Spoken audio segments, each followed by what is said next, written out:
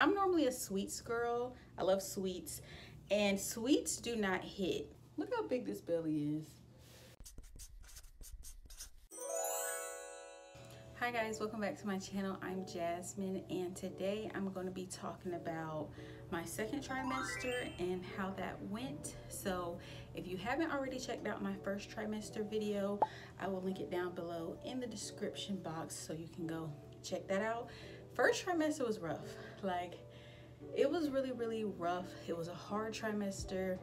Um, being super sick, having to hide it from everybody, especially my kids, having to still go to work. Like, first trimester was really hard. Thankfully, the second trimester was way better. And like I said, I got notes because mom brain, I forget a lot of stuff. So I'm currently in my third trimester. I'm actually like far in my third trimester.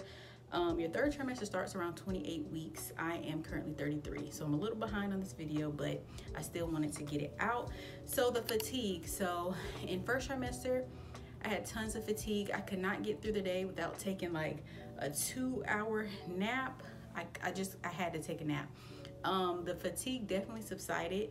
In second trimester, the naps kind of tapered off and then I just stopped taking them altogether. So I was able to definitely get through the day without taking naps, which was great because I felt like I can get more done. I had more energy, I was more productive, so the fatigue definitely subsided. In my first trimester video, I said my nausea was like 100% of the time, and then towards the end of first trimester, it went to about 75, 80. So I feel like in the second trimester, it went down to like 45, 50% of the time, which is way better than having it all the time. Still had it every day, it just wasn't all day. It would just be like certain times of the day I would have it, but it wasn't like from sun up to sundown I had it. It would just be like half of the day I would be nauseous. So that was good. The vomiting definitely decreased. I was still having it, um, probably like the first half of second trimester, but it definitely tapered off towards the end and I was not um, throwing up as much. So that is definitely great because I hate throwing up. That's like the worst thing ever. The whole spitting thing that I told you guys that I absolutely it's so disgusting. If you don't know what i'm talking about go check out my first trimester video. It kind of was the same in second trimester. It kind of didn't taper off. It didn't get better worse whatever. It kind of stayed the same. Cravings um i'm normally a sweets girl. I love sweets. And sweets do not hit. Like they just really don't. Like i'll still have like some ice cream or a milkshake or cookies or something every now and then but they just do not hit the same. They don't taste the same. I get a weird nasty aftertaste after i eat sweets. But like i said i do from time to time will crave them like i want some candy or i want a milkshake or something like that. But when i eat it it's like i'm not satisfied. Like i didn't my craving isn't satisfied. I don't know. But i mostly crave salty savory things like that like chicken. I usually want chicken all the time. Um usually chicken fingers from Raising Cane's. That has been like a big thing in my pregnancy. I've had a lot of Raising Cane's chicken fingers. They're so good. Um, but I usually want chicken. Majority of the time, I want chicken. I want chicken wings. I want something salty. I want Chinese food. I want Japanese food. Like I want meat and rice and fried rice. Like I just want, you know, savory, salty things. So those are like my cravings pretty much like chips and pretzels like salty stuff. So the first time i felt my baby move was during the second trimester. That was so exciting. It's crazy because it happened after a doc i remember i had a doctor's appointment and they were like have you felt the baby move yet? And i was like no not yet. And they're like oh it's okay it's okay. Sometimes moms feel the babies move early sometimes later or whatever but i wasn't concerned because with my other kids I didn't feel the move until about 20 weeks. So that's what I was expecting with this pregnancy, but I felt him move a little bit earlier.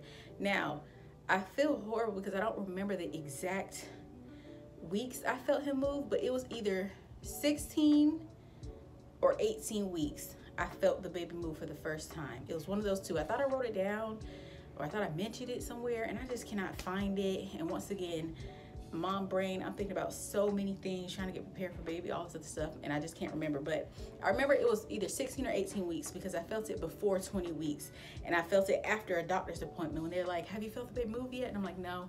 So 16 or 18 weeks, I felt him move, and it was just like, oh my gosh, like, and he has been moving nonstop ever since then. But I was so happy to feel him move because, like I said, it's confirmation to me that my child is in there, that he's moving, he's, you know, active, and, um, you know, he's healthy and those things. So it's definitely, um, that was definitely exciting feeling him move. At nighttime when I'm trying to sleep, he is very, very, very active. So I always try to, um, he's moving a lot, get my husband or the kids to feel, and he usually stops moving when they touch my belly, which is so crazy, but he usually will stop and then they're like, okay, and then they just walk away and he'll just start flipping and going crazy. I don't know. But yeah, very exciting. That's like the highlight of second trimester is feeling my baby move. Number one. Number two is having a baby bump because I love the aesthetic of a baby bump. Like how cute. Like I love a baby bump. It just, just looks very much pregnant and I just love it. So having a baby bump is definitely another highlight of second trimester. And then the last thing is just being like super bloated and gassy and burpy. I mean, I don't know what that is, if is that indigestion or what, but it was worse in first trimester. Like the gas and the bloating and the burping is definitely was still happening in second trimester.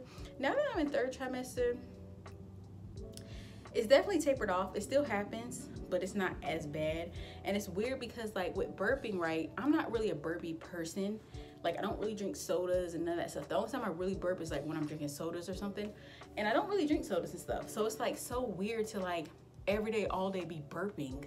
Like, I don't know. I just think that's just so strange and so weird. I'm trying to think is that everything I want to say about my second trimester. It was definitely better than first trimester. I had more energy. The sickness definitely kind of subsided a lot. So it was definitely a better trimester. And third trimester kind of got rough again, but I'll do a whole nother video hopefully before I have baby. I'm gonna try to time it to where like, you know, I don't have the baby yet, but I'm still like towards the end of the tri my um, third trimester to do a video about it. But I'm out of breath. Oh, I'll show you guys my bump. Once again, I'm further along in third trimester, so you just gotta remember that. I didn't just come out of second. Huge. Look how big this belly is. So like I said, um, third trimester starts around 28 weeks. I'm 33, so keep that in mind. I'm not fresh out of second trimester. So this is bump. This is baby boy. Look how big my belly is. It's just crazy. But yeah, that's how the bump is looking. That's all I want to say about second trimester. So thank you guys so much for watching my video. If you like my video, please give it a thumbs up and subscribe if you would like to. And I will see you guys in my next video.